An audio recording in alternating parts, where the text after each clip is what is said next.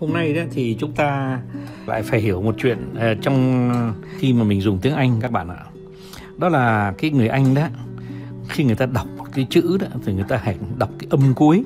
Việt Nam chúng ta thì lại không đọc âm cuối. Thế ờ, nhưng mà tại sao mình lại gọi là âm cuối là bởi vì thế này, là cái tiếng Anh nó lạ lắm là khi mà ờ, một cái động từ đấy mà do một người khác nói lên, thí dụ như là bạn kia bạn ấy nói thì người ta lại cho cái chữ sc vào cái chữ ờ, của tiếng Anh. Lấy ví dụ nhé.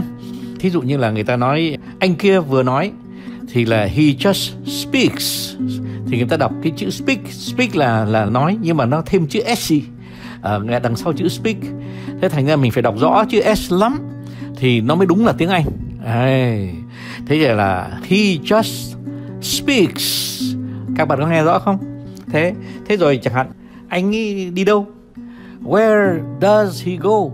Where he goes? Uh, does he go? Goes.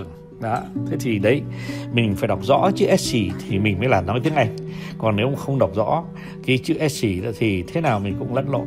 Thế thì bây giờ các bạn mà tập đọc à, tiếng Anh trong một cuốn sách hay gì đó thì các bạn luôn luôn nhớ nhé là cái người Anh ấy, người ta uốn lưỡi, người ta ờ, uốn môi, thế rồi người ta đọc cái âm cuối cùng rất là rõ có như vậy mới là tiếng Anh. Ê, thế thì các bạn nhớ nhé phải làm chuyện đó nhé chào các bạn.